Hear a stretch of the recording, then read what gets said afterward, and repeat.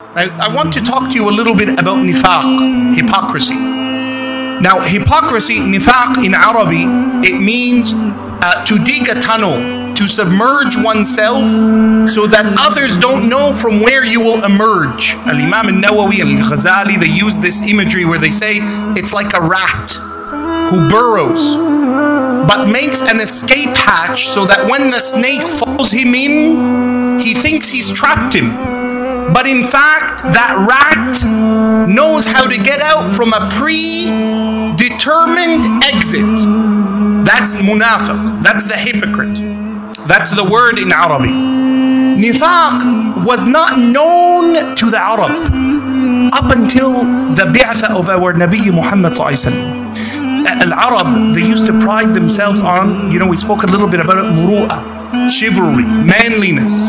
Muru'ah is it's not about doing what's right and wrong, it's what doing it is about doing what is most right out of what is right. That's muru'ah that you don't just choose what's right from what's wrong, but you choose what is the most right from what is right. This is a distinguished higher mode of thinking of a believer.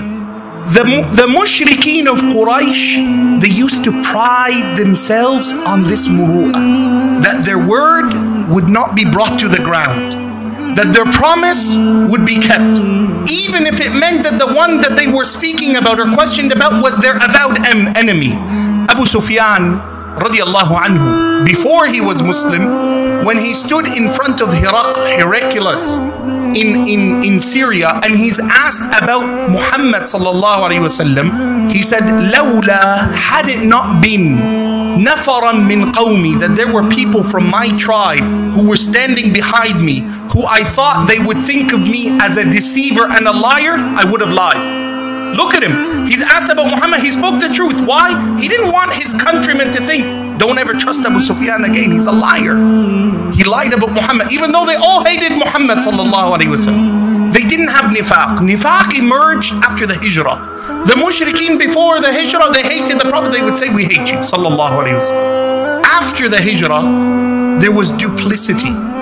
And there were people who pretended to believe when in fact in their heart they disbelieved. And this is nifaqul akbar, major nifaq, that a person has no faith but claims to have faith.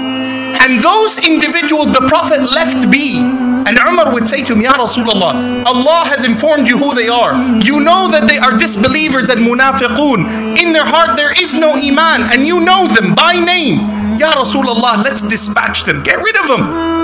The Prophet ﷺ teaches us a principle in our faith that we deal people with the outward. You never look into a person's heart because you cannot. You don't say, I know inside he is this. I know inside he hates me. I know inside he hates Islam. I know inside he's an unbeliever. No. The Prophet ﷺ said, Lam Umar, I was not ordered to open a person's chest and look into their heart. Let them be there was a mind that was major nifaq, unbelief but pretended to believe. You, do you know what it is, uh, my dear brothers? These munafiqeen at the time of the Prophet ﷺ would come and pray behind him. Sallallahu alaihi wasallam. The munafiq, the one who disbelieved, would wake up for Fajr and come to the masjid. You get sometimes within our communities of believers, you find people who cannot even resemble the munafiq. Inna lillahi wa inna ilayhi raji'un. You find people who just snooze right through Fajr. They cannot even reach that level of hypocrisy. La ilaha illallah. The minor level of hypocrisy is what this is, is, is seen in signs. Now, I want you to understand, sometimes people misunderstand these hadith, where the Prophet ﷺ says, كما عند الإمام مسلم, آية المنافق, the sign of a hypocrite. These are signs, means it's not because they do this, they are hypocrites. There's other things they do that make them hypocrites. But these signs, they manifest themselves beyond their control. A hypocrite cannot ever hide it because he's a hypocrite. What are these signs? He cannot control it. إذا حدث كذا. When he speaks, he lies. Even though he doesn't want to lie, he will lie. Cannot control it. Why? Because in his heart there is that susceptibility to hypocrisy. إذا tumina khan. You trust him, he betrays. Ahada promises, betrays. In another riwayah, there's four characteristics, four signs. The fourth one, إِذَا خَاصَمَ فَجَرَ When he disputes with you, he's overboard. He goes too far. It's not just normal abuse. He goes way over than what you would expect for a particular situation or circumstance.